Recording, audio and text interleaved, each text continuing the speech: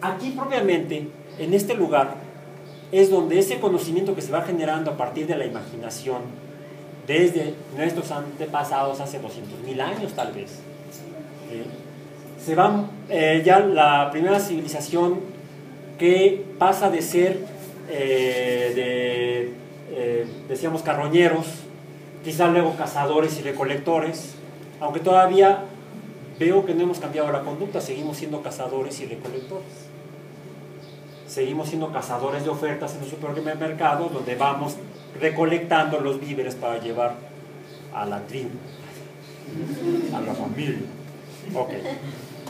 Sí, somos cazadores de ofertas. Ok. Em, y hace aproximadamente 5.000 años, los humanos descubrimos que, quizá accidentalmente, se nos cayó una semilla en el suelo y luego vimos que surgía de ahí la plantita.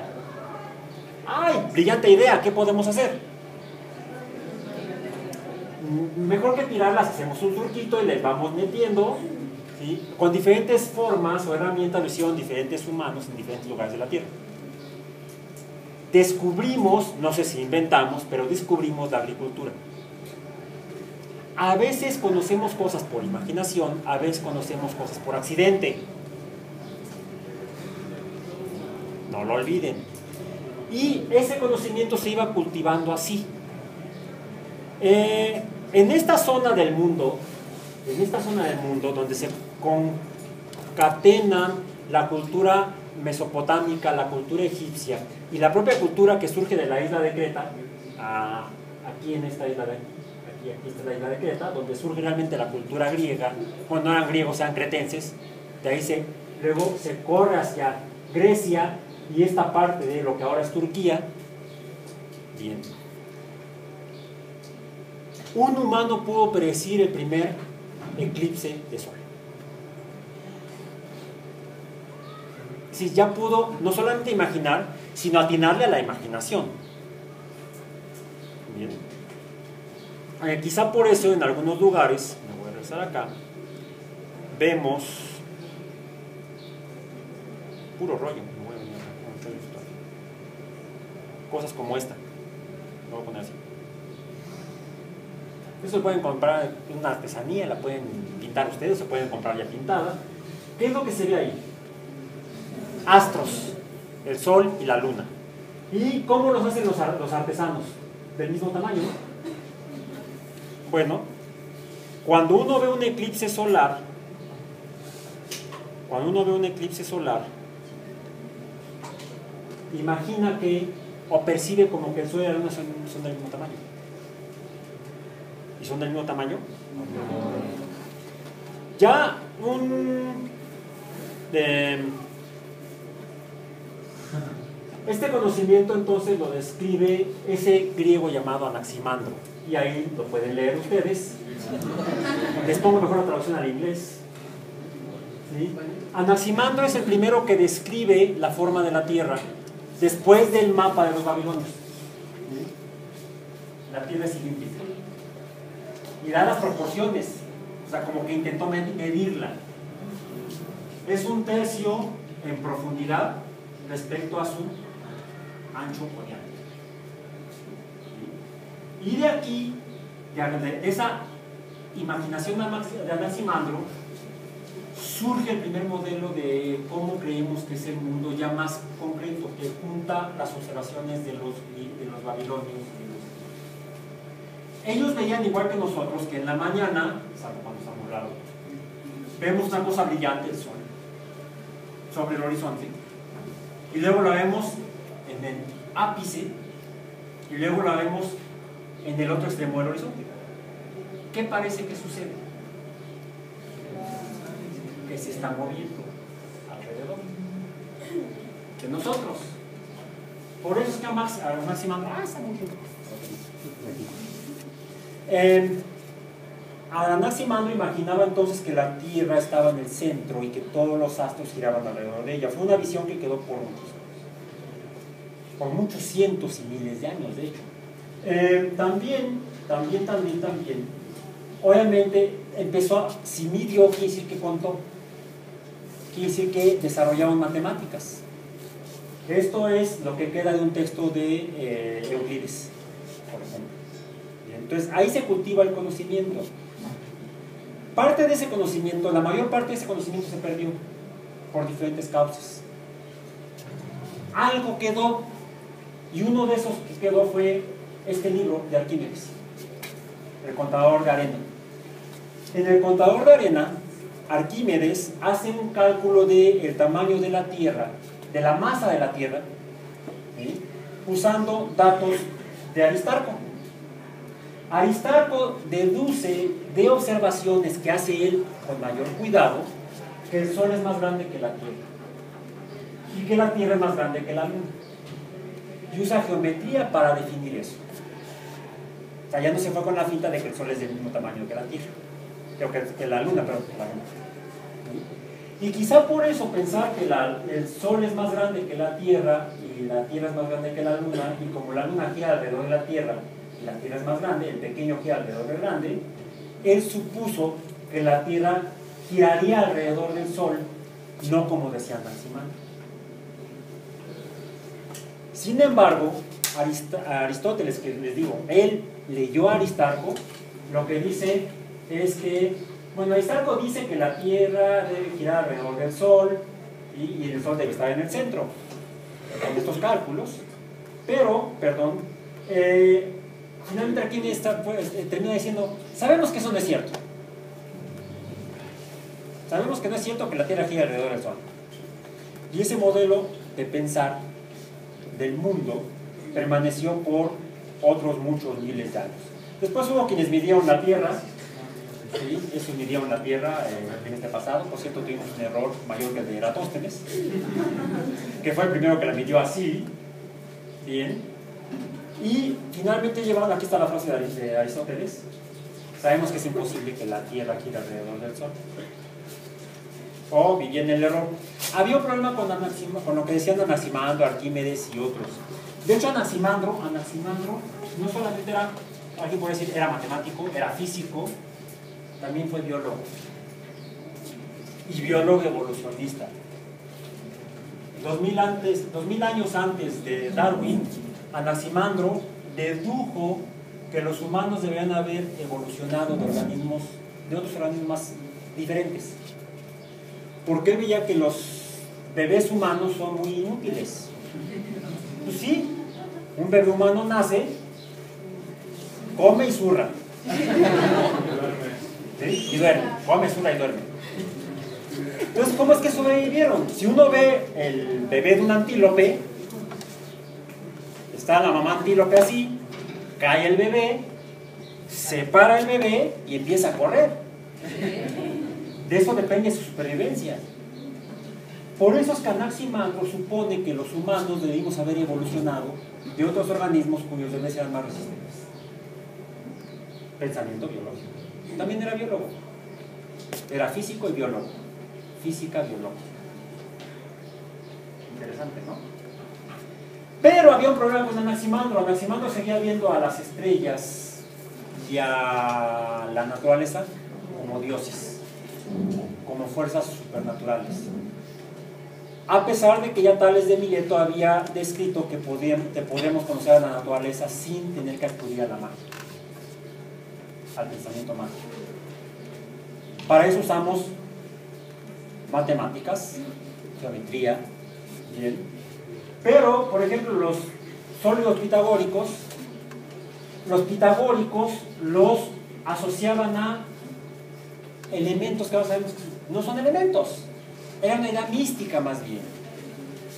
El fuego no es un elemento, es un plasma. El agua no es un elemento, es un compuesto formado por elementos, oxígeno e hidrógeno. El aire tampoco es un elemento, es una mezcla de un montón de cochinadas y de cacofitas además de oxígeno, nitrógeno, dióxido de carbono. La Tierra, la Tierra también, es una mezcla de componentes. Y el universo o éter, por cierto, ese concepto de éter permaneció hasta el siglo XIX, entrado el siglo XX. Uno de los que contribuyó a eh, eh, demostrar que esto era completamente falso fue Albert Einstein. ¿Bien? Bien, termino con esta frase en esta parte aquí. Ok. Eh, en las ciencias exactas, la causa y el efecto no son más que eventos ligados a incidencia. Frase de Peter Mitchell, premio Nobel de Química por el descubrimiento de la teoría quimiosmótica, la que explica el cómo se transforma la energía dentro de los seres vivos. Trabajó en biología, era físico. Entonces, la física y la biología están íntimamente ligadas desde hace mucho tiempo. ¿Qué tanto tiempo? Anton van Leeuwenhoek holandés. ¿Lo conocen? Sí. ¿Qué hizo? Entre otras cosas. Era un estuche de monderías el señor hasta parecía biólogo experimental. Es más, podría ser uno de los fundadores de la biología experimental. Leeuwenhoek tallaba lentes y los usaba para ver cosas chiquitas. Igual que los otros que tallaban lentes y los usaban para ver cosas chiquitas, como por ejemplo la fibra en las telas. Las, los microscopios, no, Leeuwenhoek no inventó el microscopio lo inventaron los mercaderes que vendían telas para verificar la calidad de las telas que vendían, para poder contar los hilos, porque es así como uno de los parámetros que se usa para poder calificar la calidad de una, tela, de una fibra. Pero Oliver, en lugar de ver telas, curiosamente los holandeses eran uno de los principales mercaderes de telas, y él era amigo de muchos mercaderes, él era un filósofo, matemático, bla, bla, bla. Él usó la, el microscopio para ver gotas de agua o ver otras cosas y descubrió el mundo microscópico vivo. Quizá fue el primer biólogo experimental. Anton van Leeuwenhoek. Eh, Luigi Galvani, italiano, de, eh, vean, 1737 nació, médico, fisiólogo, Galvani. Dice aquí que descubrió la, el impulso nervioso, pero como propiedad eléctrica como fenómeno eléctrico. No solamente era médico y fisiólogo, sino también, más que físico, porque los físicos como tal no existían, entonces era electricista. No porque estuviera arreglando cables ahí, cambiando focos, no. Porque estudiaba la electricidad, aunque no sabía exactamente qué era. Lo que sabía, lo que había observado Galvani es que afectaba a los seres vivos. Por ejemplo, a, un, a las piernas cortadas de una rana le aplicaba una, descarga con una pila hecha por un amigo suyo, Alessandro Volta, y entonces la pata de la rana se contraía. Eh, bueno, veamos a su amigo, Alessandro Volta, veamos, efectivamente son amigos, son contemporáneos, nació en 1745. Alessandro Volta fue un diseñador de celdas electroquímicas, aunque la química todavía no existía como disciplina, era la alquimia todavía entonces. Vamos rápidamente con esto. Eh, la química nace con el planteamiento de la teoría química por parte de Dalton, aunque existía un concepto similar entre los griegos por planteado por Demócrito, la teoría atómica, era más bien una idea filosófica la de Demócrito. La teoría atómica de Dalton está basada en evidencias físicas experimentales y observaciones de esas experiencias. Como nos damos cuenta, nació un poco después, unos 30 años después que los otros colegas. Eh, entonces, la química, la física están mezcladas, entremezcladas, y más cuando vemos a los fenómenos biológicos. Em, vámonos más para acá, siglo XIX. Wilhelm Röntgen, ¿qué hizo? ¿Era biólogo? No, era, él sí era físico, ya existía la física. La física la fundan Galileo, Kepler, Newton, etcétera, etcétera, a partir de la teoría heliocéntrica de Copérnico, que es el que rescata la idea de Aristarco, aunque parece que no leyó Aristarco. Eso está a discusión. Ok. Röntgen descubre los rayos X. ¿Y por qué le pone rayos X? Porque no sabía qué eran. Las detectó su efecto en placas fotográficas, la fotografía ya existía, la fotografía la inventó este, eh, John Herschel. John Herschel fue, fue, con descubrimiento de muchos, uno de los cuales fue John Herschel. John Herschel fue uno de los descubridores de la fotografía. Eh, rápidamente para terminar, porque ya se está yendo el tiempo, Marie Curie, ¿qué hizo? Bueno, también Rondon se murió, Galvani se murió, todos los demás se murieron. ¿Por qué se murió? Uh, ¿De, ¿De, qué? ¿Cuál fue la causa de la muerte de Marie Curie? La radiación. Ella era una chica muy radiante. ¿Sí? Eh, murió como consecuencia del mismo fenómeno que provocan los rayos X. Son lo mismo. Es algo de lo que vamos a ver a lo largo de este trimestre. Eh, Linus Pauling, ¿lo conocen? Ah, bueno, hasta, hasta eh, Marie Curie eran físicos, aunque Marie Curie era de físico y químico. Linus Pauling era un químico norteamericano que usaba rayos X para estudiar la estructura de, las, de los compuestos químicos, de las moléculas. De hecho, él es, uno, es el que plantea la existencia del enlace químico como actualmente lo conocemos. Es el autor del, paradigma del enlace químico. Eso le valió además del descubrimiento usando rayos X, el descubrimiento de la estructura de las proteínas, fue el que descubrió la estructura de la alfa hélice y la hoja beta de las, de las proteínas, le valió el premio Nobel de, química, de física, no de química, sí, de química, premio Nobel de química. Aquí debe decir, premio Nobel de química, acá está, premio Nobel de química en 1954 y el premio Nobel de la paz en 1962.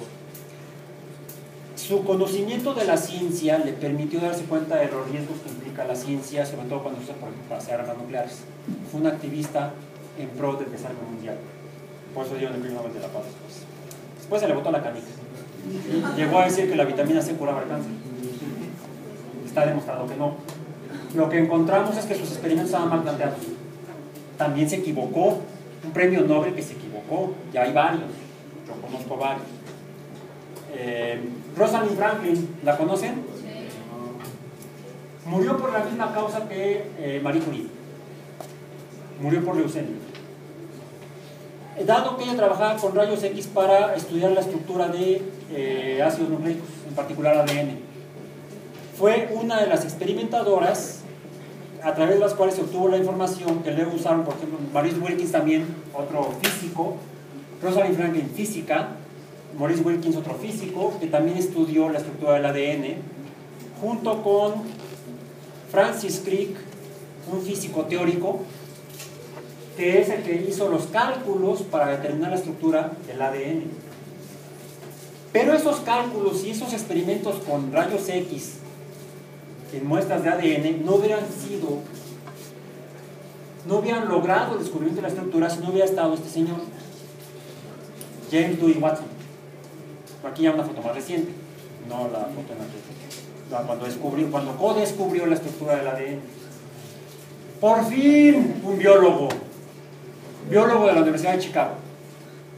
Por cierto, se graduó como ornitólogo. Sí, era ornitólogo, no biólogo molecular. Es más, no existía la biología molecular entonces. No existía como tal la biofísica entonces aunque se usaba la física para estudiar la biología. Por ejemplo, cuando Pauling utiliza los rayos X para estudiar la estructura de las proteínas, está haciendo física biológica o biofísica.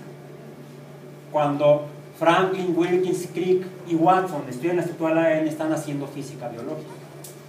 Entonces, estos son los orígenes de la física biológica que estaremos estudiando a lo largo de este trimestre en este curso. Rápidamente, ¿alguna duda, alguna pregunta que haya a partir de esta introducción temática? Ah, bueno, a ver. Todo esto está en la página del curso en eh, http diagonal diagonal eh, investigacionisp.one.mx diagonal alba diagonal UEA. Ahí están eh, las fechas programadas de las evaluaciones parciales eh, y la dinámica general del curso en el cual lo más importante es aprender cómo como biólogos experimentales necesitamos entender la física para poder conocer mejor cómo son y cómo podemos estudiar mejor e incluso cómo podemos manejar con mayor responsabilidad al mundo vivo. Para eso es que los biólogos necesitamos a la física y de ahí la física biológica. Nos vemos pasado mañana.